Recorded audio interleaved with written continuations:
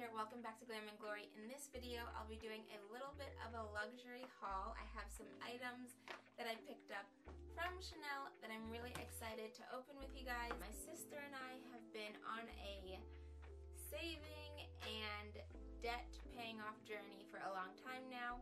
She recently completed her journey, which is really exciting.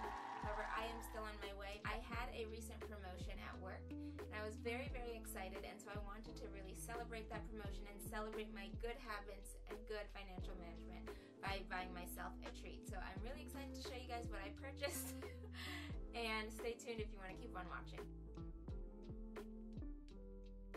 So to start, I'll be starting with this handbag.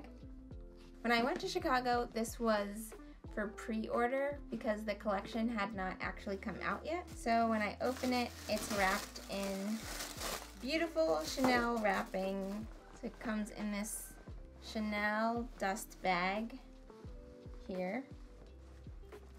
And this is the bag. So it's the Chanel mini flap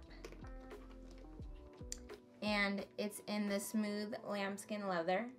And then on the side, it has that gold champagne and it also has gold champagne hardware. It can be worn crossbody, it can be worn just holding the handle. So really, really excited about this bag and definitely will treasure it forever and it has a special place in my heart since it was the first but not the last Chanel bag. This is one of the small leather goods that I got while in the store. It's wrapped so beautifully I feel actually quite guilty opening it. And so when I open it, it's again protected by a little bag. And this one is like suede. Oh, it's so cute. So this is it. So beautiful. Again, it's lambskin leather. Again, um, it does have like a sticker on top of the Chanel emblem. So I'll be taking that off. So this is the same lambskin leather as the bag. Super, super excited. It's so gorgeous. And then lastly is a pair of shoes that I also got while I was at the store. And so that is what I have here. And so let's see. Not easy to open. Bow. Gosh, this is really sticky. I don't think to take this off. Alright. So got it off. And a Chanel dust bag for the shoes. Oh look, one for each shoe. That's very nice. I've never seen that before. Oh my gosh.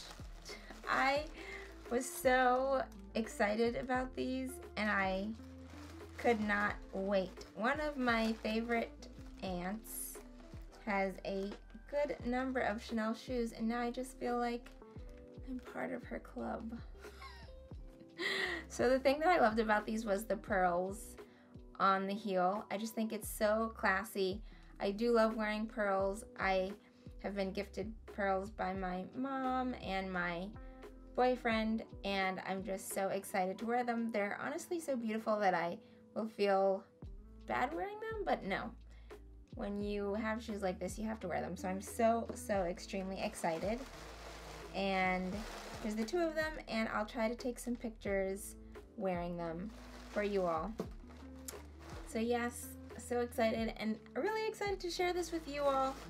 Um, let me know if there's anything on your wish list that you've been excited to purchase and have been saving up for for a really long time. I would love to hear it in the comments down below. Thank you so much for watching and I'll see you in the next one. Bye.